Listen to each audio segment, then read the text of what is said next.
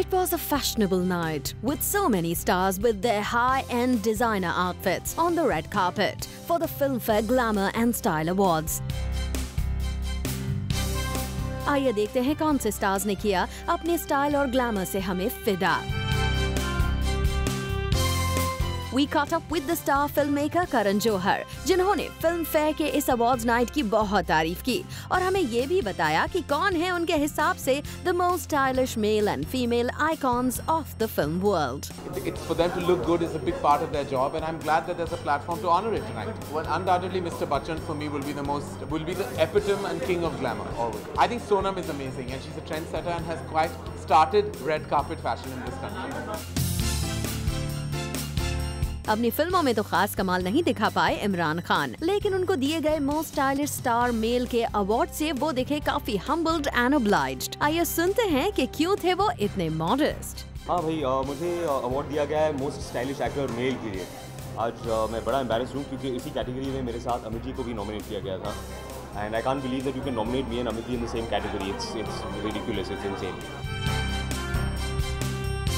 जब स्टाइल की बात आती है तो सबसे पहले हमें स्टार फादर अनिल कपूर की बेटी सोनम कपूर का नाम याद आता है। सोनम को हमने देखा in a feathered gown with a wet hairdo and with the black swan eye makeup I am very excited you so much, uh, uh, Filmfare. मेरा सबसे बेस्ट मोमेंट था जब मैंने श्री श्रीदेवी को अवार्ड दिया और माधुरी दीक्षित ने मुझे अवार्ड दी। So that's quite cool. I think that's one of those iconic moments in my life. फ़िलहाल सोनम है हॉस्पिटल में admit due to swine flu और हम चाहते हैं कि वो जल्द ही ठीक हो जाएँ to resume the shoot for Prem Ratan Dhan Payo fashion arena में तो करीना कपूर खान भी कभी नाराज़ नहीं करती with an award for the most glamorous star female she was completely delighted I think अच्छा लगता है जब when you are you know always given an award पर आई थिंक ये अवार्ड बहुत ही स्पेशल है क्योंकि पहली बार फ़िल्म फेयर स्टाइल और ग्लैमर अवार्ड्स कर रहे हैं। Um, पहले जब फ़िल्म फेयर अवार्ड्स परफॉर्मेंस के लिए जीता था and for the first time this is style and glamour so I am really happy